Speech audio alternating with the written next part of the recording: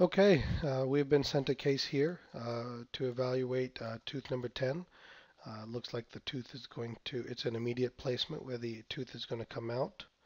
Um, and we're making the assumption that the tooth is going to come out. There's either a fracture or something else going along in the post here. Uh, so uh, let's take a closer look. These anterior areas, these, these are where the minor changes make a big difference in really understanding how to use our software and understanding the processes of planning will really make a tremendous difference. So the first thing we'll look at, and, and it's very important uh, for us to look at here, is I want to point out how nicely uh, this this is done. Now, uh, many of us, uh, many people are trained that it doesn't matter how you design the tooth when there's an existing tooth there, and I, I couldn't disagree more. How I want to plan the tooth and how I encourage us to plan the tooth is based on putting the tooth on the facial here and being able to draw the gingival margin exactly where it needs to be. And the reason we want to do this is we want to be able to transfer this information to the software so we can use that to help us plan the implant a bit better. So let's take a closer look at the implant plan. And um, here we go. And let's take a closer look at tooth number 10. So um, what I've done here is I've duplicated this so we can make a comparison. And um, my, here are my first thoughts. Okay, my first thoughts are uh, this is a very well placed implant. Okay, so uh, what I'm going to look at is how how and how can we make it better, or is it possible to make it better? Okay, and how would I define better? To me, I would define better as maybe having the implant to be a hair more um, centered between the roots. Because if we look at it right here, this is tooth number 11, this is tooth number 9. Um, we're definitely closer to number 11 than we are to number 9, so I have more room there. Uh, we're following the root, okay? Um, so I'm going to lose all my stability in this particular area right here, but we have enough stability with this active implant here in the apical. Uh, the other thing I'm looking at is my sleeve looks to be contacting tooth number 11 here uh, compared to tooth number 9 right here. So we definitely have room to go there. The other reason I want to center this is uh, I definitely want to give ourselves the best chance of maintaining this interproximal bone right here. Because if we lose this interproximal bone, we are going to lose our papillas. So my first movement in this particular case is going to be um, I want to move this entire implant to the mesial, just like so. Okay. Now that little bit of movement, let me undo that here. Okay, that movement from here to there will now give me greater room right here to maintain that bone, yet still have enough room right here to maintain that bone. The other thing that that movement will allow me to do here is it'll also start engaging some of this bone right here for my stability. Okay, so th there are two benefits uh, to that as well. Now the next thing that's going to happen is we've moved this too close to number 9. So we're going to tilt this and center it in the tooth, just like so. So now we have the implant a little more centered. Again, these are minor changes, you know, and, and in fact, I could probably say that we could uh, center this a bit more. Let's go here, okay? And then each time we do that, let's tilt a little bit. And this time I'm going to tilt from the apex of the implant, just like so, okay? Now, now we've really made a, a, a really nice difference in our implant plan.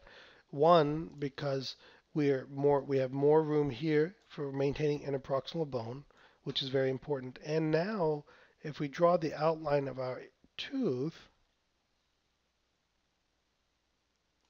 just like so, now look how much of my thread, all of this thread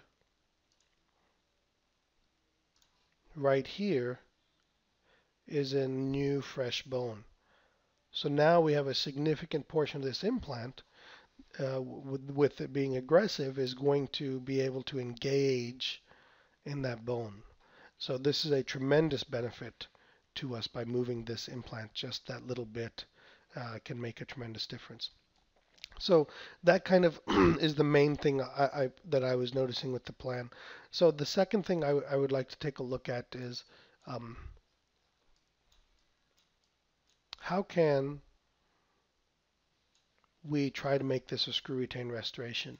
Because right now our access hole is going to come out through the incisal edge, through the buccal a little bit. Uh, not a big deal, okay? It just means that we're going to need to do a custom abutment and crown here, uh, which as CEREC owners, we can do that. But what I'm more interested in looking at is can I make this a screw retained restoration? So let me go ahead and clip along the active slice here so I can look at it in this view right here. And now let's look. So really, to make this a screw retained restoration, I need to tilt this back probably about maybe 10 degrees or so. So where how can I do that? And I can bodily move it to the lingual or I can tilt it. Um, but we have to take a closer look. Uh, my initial thought is that it's probably not possible uh, based on given this. Uh, one thing I do not like here or I would like to change is I do believe that we're engaging in the buccal plate here. Um, I'm not a fan of that. Um, it can be done, but I would prefer to just cheat that to the lingual a little bit. Okay. Now when I did that, that should also help a little bit in terms of getting this through the uh, through the access area, but it's not enough. So I would tell you that we're not going to be able to make this screw retain without doing something like this and then having to come in and graft this area. So let's try to avoid that if possible because when we graft we have to flap and then we bring in uh, papilla issues and, and, a different level of surgical skill uh, that many of us may not be ready for.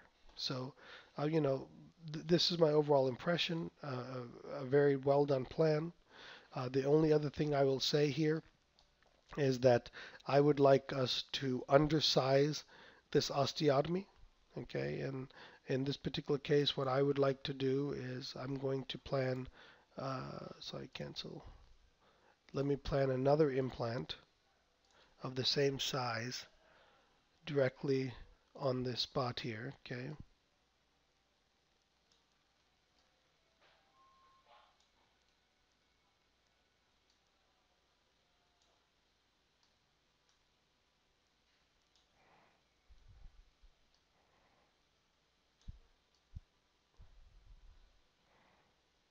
There, close enough, okay? So now what I would like to do is, there we go, since I'm just trying to be perfect. Uh, so let's go ahead and show you how I would drill this.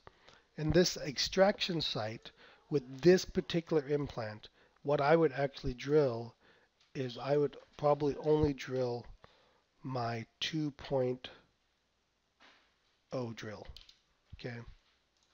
And my guess would be that with the 2.0 drill, and this particular implant being end cutting, aggressive, condensing, expanding implant. This 2.0 drill will leave me all of this bone and as we tap this implant into place, the implant itself will not cut the bone but actually condense and expand the bone and then I would graft material in the socket itself after I place the implant up to the gingival margin. So hopefully this was helpful, um, and I appreciate uh, sending in cases.